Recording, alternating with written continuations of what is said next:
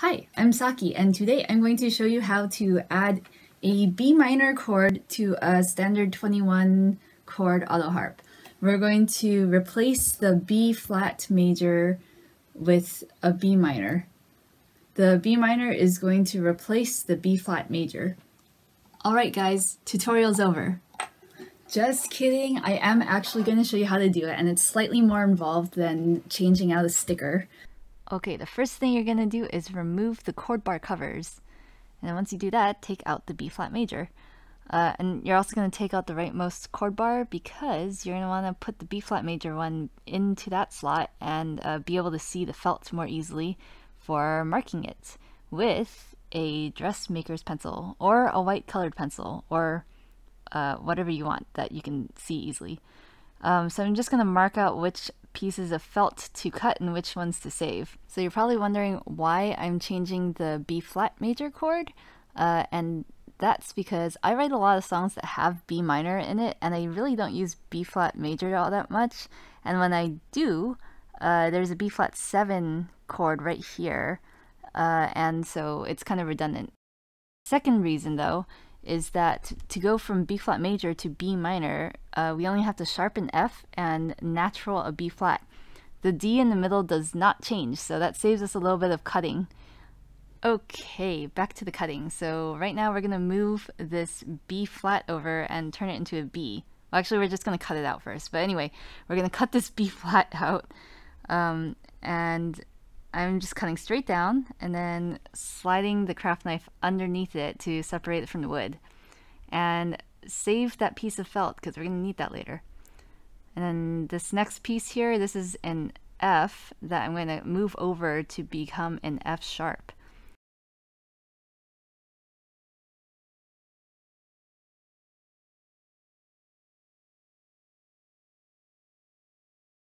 Okay, so at this point, I've removed all of the Fs and all of the B flats, and we're going to scoot everything over one notch to sharp them. And we're going to use contact cement to fasten them all.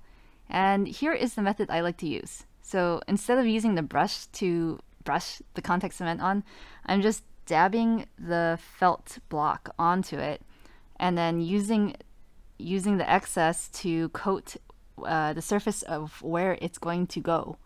And it's very important that you don't just stick it on right away. That's just that's not how contact cement works. I have a video on how contact cement works. Please look at the video if you don't know. Um, but basically, you have to let these cubes dry for about 10 minutes. Uh, do not skip this step. Um, okay, and now they are dry. Uh, you should be able to touch them and they should not be sticky.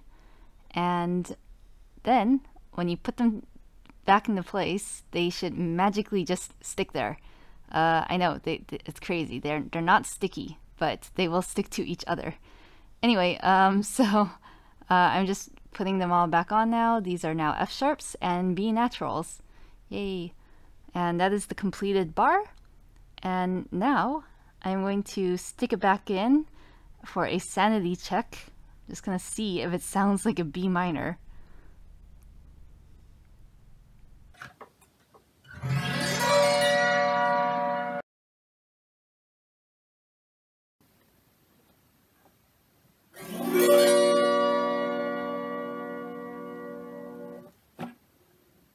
So that's basically it. But wait, there is more. I have a really exciting announcement.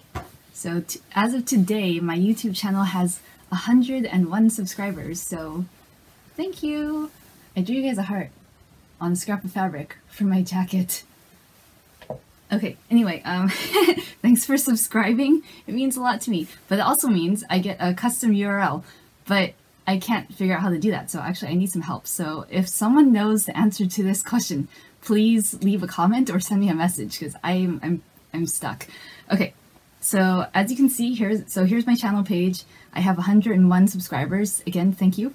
Um, and then I go to customize channel and uh, I go to basic info and go down to my URL and there's supposed to be an option to change it.